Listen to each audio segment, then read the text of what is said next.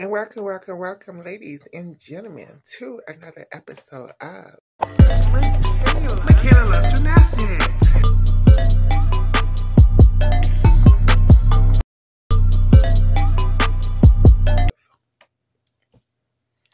In today's episode, we are discussing the 2023 World Championships. And let's start off with celebrating the first tremendous, amazing accomplishment accomplished by the USA men. Um, from left, let's start off with Khoi Young, Yul Moldauer, Asher Hong, Paul Juda, Paul Juda, Fred. His name is Fred Richards, bitch. And the alternate, Colton Walker. His name is Colton Walker, girl. And today, they accomplished something that no USA men's team has accomplished since the year 2014, which was go to World Championships and win a team medal. And let's talk about how um, important this is to the USA men's program. And let's talk about some people who this, I think, affects.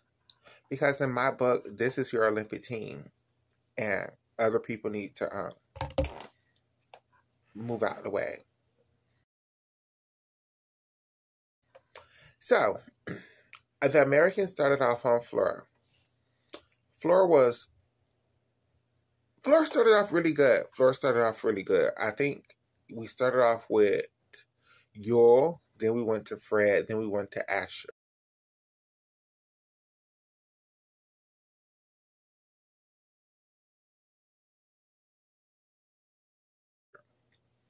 Then we was in a little bit of trouble over there on Pommel Horse where um, we started off with Yul, who did amazing.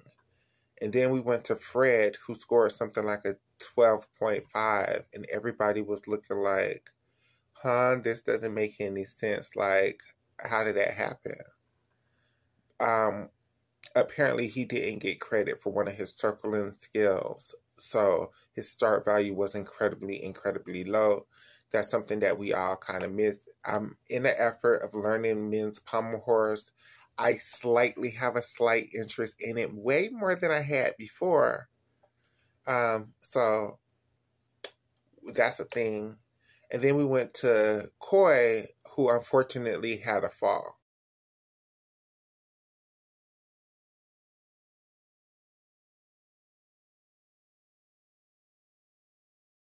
So at this point, USA Gymnastics fans thought it was done a done data.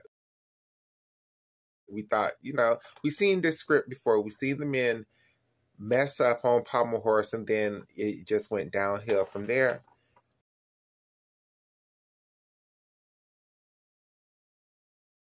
But what was incredible about this team is they have the leadership of Yul Moldauer and Asher Hong, and they were like, "We are not going to let this team medal slip away." Um, plus, what was happening is China found a loophole in the rules, so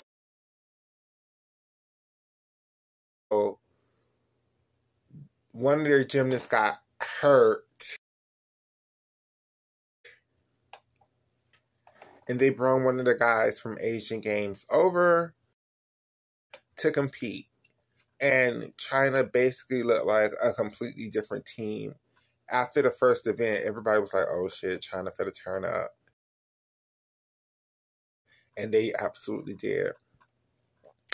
Team Japan were doing the damn thing like they always have been doing at this world championships and, and just serving serving the house down. But even off of pommel horse, I think they counted the fall too. So after two events, it was like China was in first, Japan was like in third, GB was like in second, and Americans was down in like fifth place.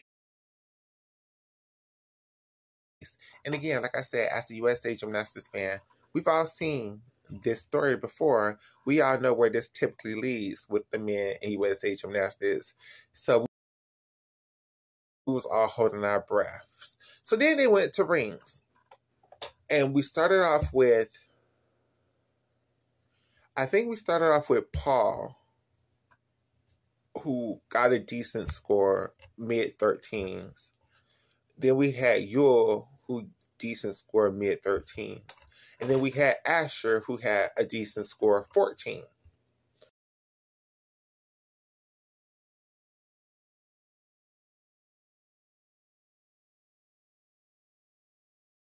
And then we was all looking like, hmm, that's cute, but but we have to understand pommel horse and rings for the men's are the two lowest scoring events. So for pommel horse, the men blew it. I think if the men would have did well on pommel horse, they probably would have came in second place here. But they didn't. But as far as rings, I think they did the best that they could do. I think for Team USA, we're just not strong on rings. We're just not strong on pommel horse. High bar for whatever reason is a weakness. So them three events, we just got to skip out. We just got to do what we do on our best events, which is floor, which is vault, and which is parallel bars, which is just exactly what this team did. So then they moved over to vault. So then my boo, Khoi, he started off with his handspring, the male Rudy, which is the Randy vault and it was real good. He had a little bit of a weird hop, but it scored a good score. Not as high as he scored in qualifications, which I think he scored like a 14 8 in qualification. He scored like a 14 6 something, which was good. Which was good. I was bringing the Americans back. Then we had Asher, who did the best vault of his life and scored like a 15 1. And we were like, okay, okay. And then we had Paul, who did his man Simone Biles vault, which is the Yurchenko double pike. And he had a pretty large step, but he still scored like a 14 something. But our start value so long. finally, we were not going to Worlds with 5.2 start values. We were starting at six point, I mean, 5.6 and higher. And that's what kept Team USA in it. So then we jumped up to fourth after this rotation. Um, other teams did what they had to do. Other teams, it was looking like USA was solidly in fourth place, and that was cool. Us as USA Gymnastics fans was like, whoo, fourth place. That's better than what we've been doing. Okay. So then we move over to P bars. And the guys showed up and showed out. Like they did phenomenal. Um, I think everybody scored 14 5 plus. And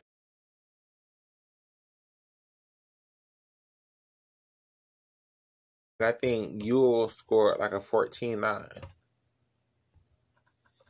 So Team USA was sitting sitting solidly. I think they were in second after five.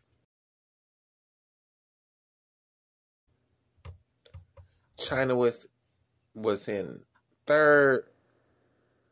But everybody was like, America's going to go to high bar.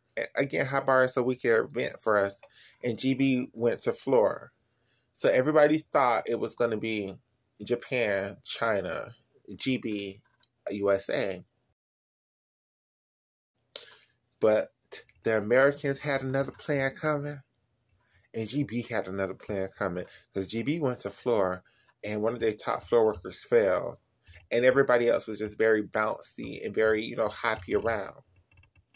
Whereas the Americans did the best of their abilities. And Fred, instead of falling like a, another American superstar would have fallen, in my opinion, in that situation, Fred had a big error, but it wasn't significant enough. So I think his score would have been a plus 15 without the error, but he still scored a 14-5, which was still one of the top uneven bar scores of team finals. And Team USA came in third place.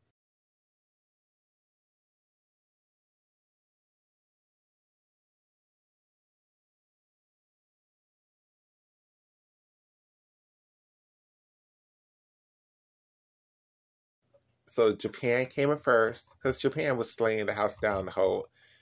Japan was serving the kids down the whole day. China came in second place. And these men, for the first time in nine years, won a team medal. Came in third place. Um, this is a triumph. Now I'm going to say something very controversial. Brody Malone, I think this team bronze medal affects you most because I think if this team would have done everything possible, they would have came in second place here. Even now, going towards the Olympics,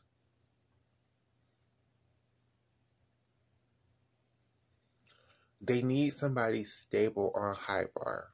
They need somebody who can put up a great, significant ring score. And they need somebody help on pommel horse. Brody, if you want to make this next Olympic team, that is the direction I suggest you go in. I suggest you leave, let Fred, let Khoi, let Asher handle the all around position. Your spot is you would have to really, really, really, really, really be fighting for against Paul and maybe Shane for that fifth spot. But I just right now, even if you were healthy for this team, I still would have picked this team over a healthy you, even though I know you probably would have outscored all of these men in the all around. And USA Gymnastics would have done what they've always done. They would have tried to build a team around you, and it just wouldn't have made sense. Because yes, you may have been the best all around gymnast, but your gymnastics has holes in them. And as an all arounder, you have to be able to be put up on every event, and that's just something that your gymnastics just was not given. And you're not a trustworthy gymnast. Like, look at Fred. Fred had all the pressure in the world for him. He could have lost the team bronze medal if he would have failed. He did not fall. He had an error, but he did not fall. That's just not your track record, Brody. Um,